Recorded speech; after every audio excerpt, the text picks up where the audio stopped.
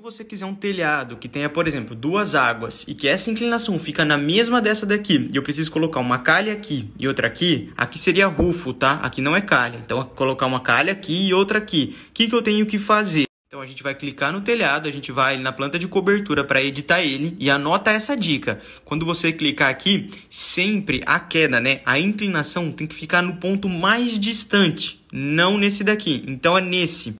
E aí sim, vou ter somente duas águas. Se eu colocasse uma inclinação aqui, ó, desse jeito aqui, você vai ver o que acontece, ó. Quando eu dou um OK e vou no 3D, vou colocar no 3D aqui, ó, muda, tá? A inclinação ali, porque essa distância é menor que essa.